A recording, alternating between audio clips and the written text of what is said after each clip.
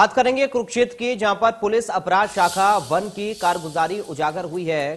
किसान को नशा तस्कर बताने की साजिश का खुलासा हुआ है। पुलिस ने पीड़ित को गुनहगार बनाने के लिए थर्ड डिग्री दी। मामले में गड़बड़ होने के बाद पुलिस ने फैसला बदला। पुलिस ने किसान को छोड़ने के एवज में तीस हज़ार रुपए ऐंठ लिए। किसान को झूठा नशा तस्कर बनाने के मामले का खुलासा हुआ है। हाईकोर्ट ने खुद इस मामले पर संज्ञान लिया। उनतीस सितंबर को सुनवाई।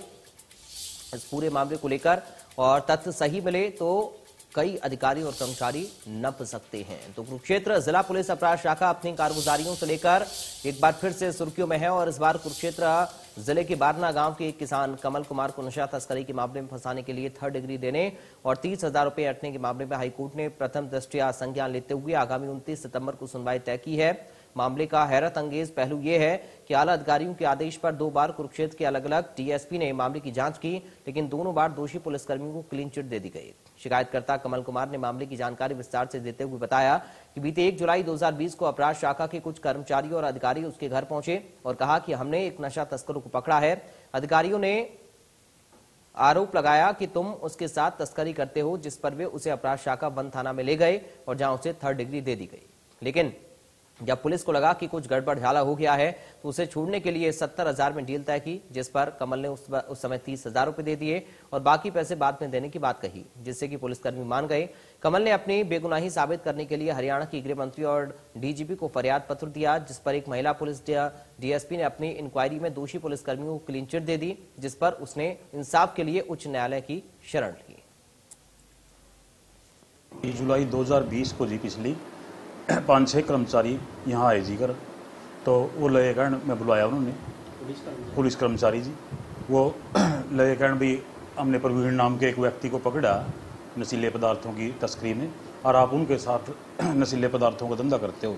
मैं ले कारण मैं तो खेती बाड़ी का काम करूँ जी हमने कोई मतलब नहीं इन कामों से। तो वो ले कारण भी आप वहाँ थाने में आ जाना सी में। तो मैं उनके कहने से जी वहाँ पहुँच गया जी कुछ टाइम बाद जी। तो वहाँ पे जी उन्होंने एक भजन भजन नाम का है जी कर्मचारी और एक मनदीप जी। उन्होंने जी मेरे को एक अंदर कमरे में ले जाके जी बहुत ही असभ्य तरीके से पूछताछ की बहुत ही मतलब असामाजिक तरीके से। उन्होंने मेरे को बहुत टार्चर कराया जी। और बाद में ही चलो उन्होंने फिर कहने लगे भाई चलो हम मामला रफा दफ़ा कर देंगे। और उसकी रफा दफ़ा करने की उसमें जी मेरे को सत, मेरे से सत्तर हज़ार रुपये मांगे उन्होंने। तीस हज़ार रुपये मैंने उनको दे दिए जी तुरंत। भाई जान छटवाने के लिए तीस हज़ार रुपये दे दूँगा। तीस हज़ार रुपये दे दिए जी भी चालीस हज़ार रुपये फिर दे दूँगा जी। तो ये मामला था जी। जी तो मैंने उसके बाद जी उनकी डीजीपी पे और अनिल विज जी पे एप्लीकेशन डाली, उनकी शिकायत की। तो उन्होंने, एसपी साहब ने इन इंक्वायरी करवाई जी से, डीएसपी ममता सोदा से और डीएसपी क्राइम ब्रांच से जी। उन्होंने कोई असंतुष्टि वाली इंक्वायरी नहीं की जी उसमें। तो उससे फिर जब संतुष्टि नहीं हुई तो अब मैं हाई कोर्ट में गया जी। हाई कोर्ट में जो है अपना सचिन वैद जी वकील है हमारे वो केस की पैरवाई कर रहे हैं जी। तो इसमें आप पे कोई मामला वगैरह तो नहीं नहीं मामला दर्ज नहीं हुआ जी। मामला तो दर्ज कर लेंगे जी वो। मैंने तो फिर उनको जैसा भी उन्होंने कहा वैसे ही मैंने कर दे रहा है जी। पैसे फैक्ट सही पाए जाते हैं तो it will be very difficult to give any explanation of these facts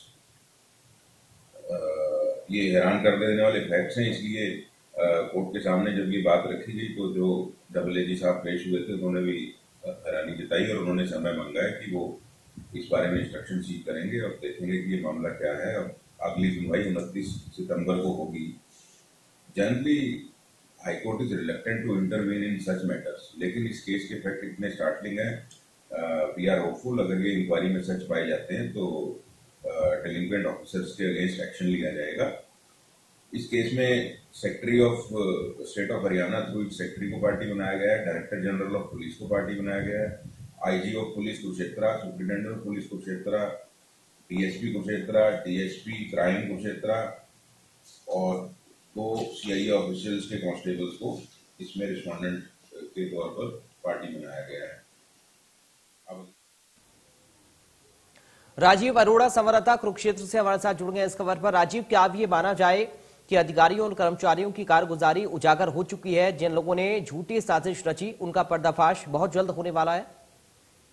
जी बिल्कुल देखिए क्योंकि पाप का घड़ा कहीं ना कहीं भरता ही है और जिन अधिकारियों और कर्मचारियों ने झूठी साजिश रची थी तो अब मामला जो है हाईकोर्ट के संज्ञान में है और हाईकोर्ट ने जो है प्रथम दृष्टिया जो है मामले पर संज्ञान लेते हुए कुरुक्षेत्र पुलिस को जो नोटिस जारी किया है और अगली सुनवाई जो है उनतीस सितंबर को है।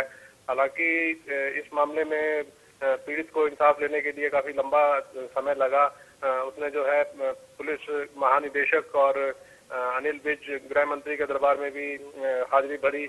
वहाँ भी अपने शिकायतें फरियाद रखी लेकिन वहाँ भी जो है कोई सुनवाई नहीं हुई क्योंकि चाहे अपराध शाखा की बात हो या बड़े अधिकारियों की बात हो डीएसपी स्तर के अधिकारियों की बात हो या अ, उनसे भी बड़े अधिकारियों की बात हो सब जो है उनकी जो है मिली भगत इस मामले में नज़र आती है और जो दोषी हैं उनके खिलाफ कार्रवाई करने की बजाय जो है उन्हें क्लीन चिट दे दी गई। तो इस पर जो है अब हाईकोर्ट ने सख्ती से संज्ञान लिया है और अब उनतीस सितंबर को कमल को लगता है जो कि पीड़ित है कि उसे कहीं ना कहीं इंसाफ मिलेगा। बहुत शुक्रिया आपका राजीव जानकारी और बातचीत के लिए। और एक नज़र इस वक्त की अब सुर्खियों पर।